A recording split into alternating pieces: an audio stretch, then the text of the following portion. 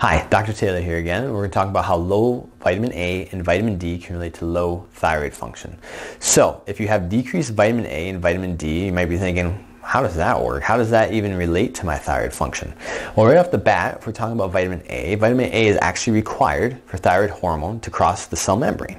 So if you have low levels of vitamin A, you'll have symptoms of low thyroid or thyroid resistance because the thyroid hormone can't cross that cell membrane to work on the cell like it's supposed to on the DNA to turn on genes, turn off genes, make proteins, all the things that it does.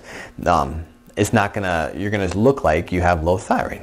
So they've done a study uh, on people with low vitamin A and the first symptoms that they saw in this study were symptoms of low thyroid. So if you have low vitamin A, those to be the first things that you'll see. And vitamin D, how that relates to thyroid functionality is vitamin D regulates the immune system. And the immune system is very important as far as the thyroid is concerned. Why? Because 90% of people with low thyroid um, have an autoimmune issue like Hashimoto's. So if you have Hashimoto's or an autoimmune thyroid, like I say 90% of people do that have low thyroid, that's based on studies, um, and your vitamin D is low, which means that you have dysregulation of your immune system. So they've done lots of studies that show autoimmune issues relate very heavily to low vitamin D levels. So if you have low vitamin D, you're more likely to have a Hashimoto's or a thyroid issue um, in general. Um, they did a study of people that were diagnosed with Hashimoto's, checked their vitamin D levels, and 92% of people with Hashimoto's um, had low vitamin D. So it's a really, really high correlation. So what are the ways that you can have decreased vitamin A vitamin D?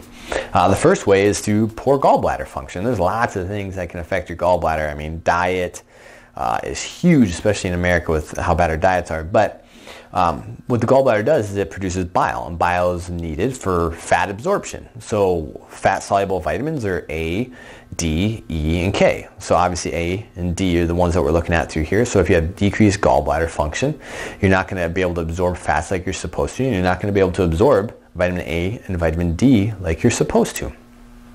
You can also have gene defects, and this is why we do genetic testing in our office. You can have a BCMO1 uh, relates to beta carotene, so vitamin A, and you also have vitamin D, VDR, um, receptor issues.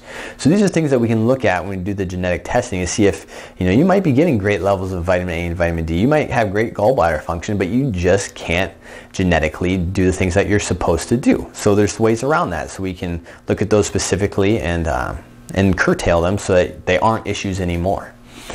Also diet and location. So like I say, if you have a low fat diet or a low saturated fat diet, you're gonna have decreased um, fats in your system. You're gonna have decreased vitamin A and vitamin D.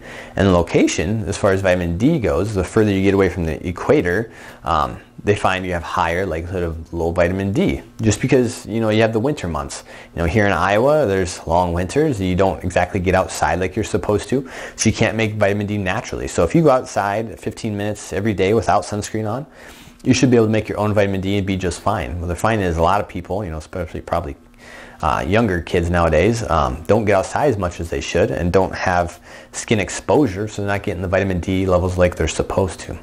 So vitamin A and vitamin D are absolutely needed for proper thyroid functionality. You know, and that's why we check things like the gallbladder. That's why we check the genetic issues because those can actually be you know issues along the system.